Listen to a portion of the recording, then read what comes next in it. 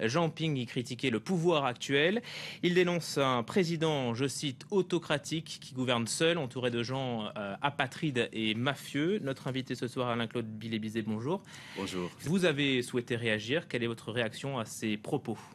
Euh, Monsieur Jean Ping a donné là la démonstration de ce qu'il n'a aucun projet pour le Gabon et que son projet c'est la haine, c'est la xénophobie.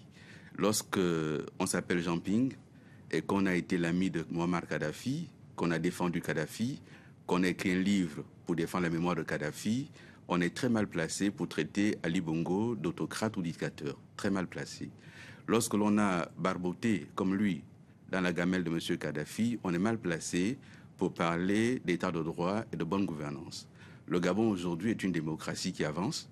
La preuve, c'est que M. Ping lui-même vit au Gabon, il est libre de ses mouvements, il voyage quand il veut, il s'exprime quand il veut.